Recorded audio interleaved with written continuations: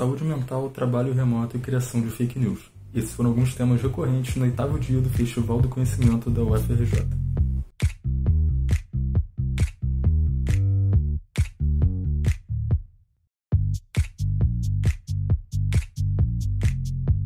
Durante a manhã, o projeto Alunos Contadores de Histórias destacou a importância de sua atuação para a saúde e bem-estar das crianças que fazem tratamento médico no hospital universitário.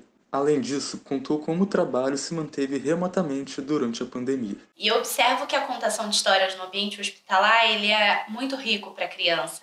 Porque quando a gente começa a contar uma história de uma princesa, ou de um animal que tem medo de balões, ou de monstros, é, elas ultrapassam aquela realidade do hospital, que é uma realidade não, não boa para elas, e navegam com a gente nessa história. A ideia de criar né, a campanha hashtag em casa com histórias.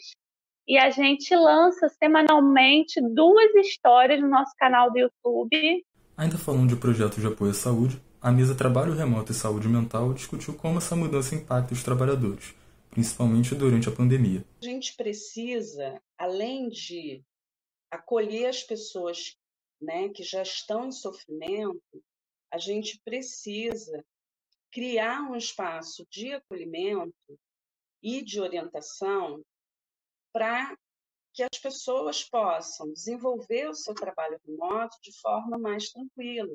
Ao mesmo tempo, acontecia a mesa A Fantástica Fábrica de Fake News, como funciona e como combater, que contou com a presença da jornalista e política Manuela Dávila. Aqui é uma coisa importante, né? Eles captam, gente, a partir dos nossos dados, da análise dos dados, dos rastros que nós deixamos na internet. Então, eles captam quem nós somos, certo?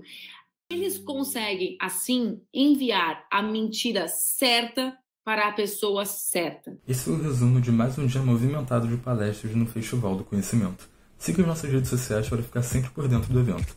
Eu sou Gabriel Tucini, de casa para o TJFRJ.